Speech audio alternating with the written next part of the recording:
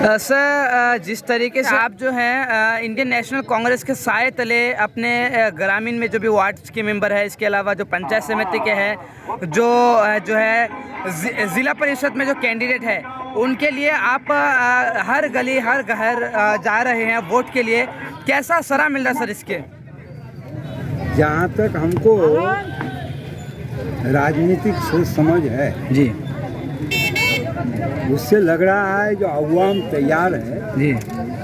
तृणमूल को हराने के लिए जी। और कांग्रेस को जिताने जी। ये माहौल पूरा उत्तर दिनाजपुर में है चकलिया में है ग्वालपोखर में है हर जगह। अच्छा सर किस मुद्दे पर जो है इंडियन नेशनल कांग्रेस का कांग्रेस के जो उम्मीदवार है वो वोट ले रहे हैं लोगों से वोट की अपील कर रहे हैं? क्या मुद्दा रहेगा?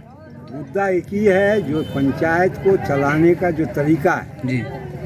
आदमी का पूरा हिस्सेदारी उसमें होना चाहिए। जी। हाँ?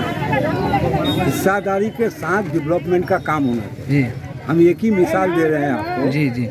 जो चकलिया में एक गर्ल्स स्कूल है। जी। 20 से 25 बच्ची है। वहाँ पर एक हॉस्टल बना दिया गया है एक करोड़ रुपये। उस हॉस्टल का क्या ज़रूरत था वहाँ पर? चकलिया हाई स्कूल में एक हॉस्टल बना दिया। करीब करीब दो करोड़ रुपया खरीद तो उस हाई स्कूल में हॉस्टल का ज़रूरत था।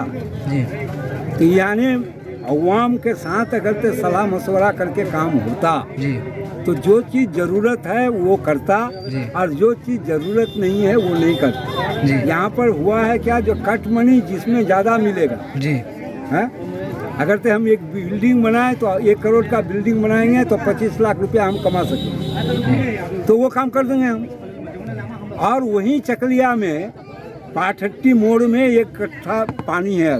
जी जी।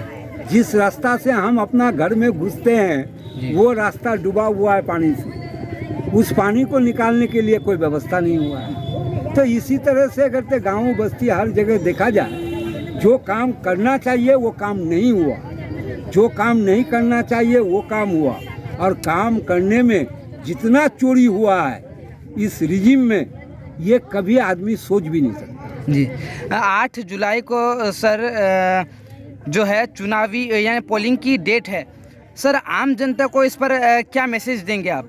हम एक ही बात बोलेंगे जो अवाम ज़ोर शोर से वोट करे जी। जिसको मन जाए उसको वोट दे। लेकिन कोई किसी का वोट लूटेगा इसको अवाम बर्दाश्त नहीं जी जी। जी बहुत बहुत शुक्रिया सर।